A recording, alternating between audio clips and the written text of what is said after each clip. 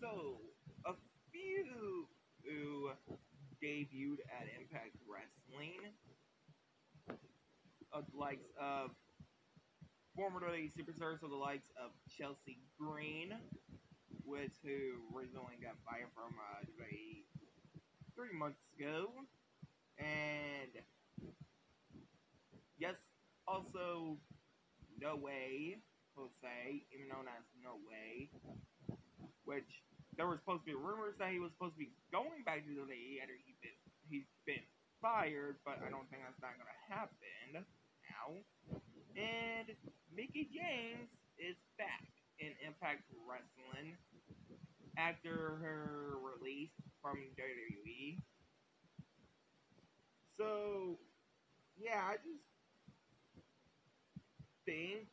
it's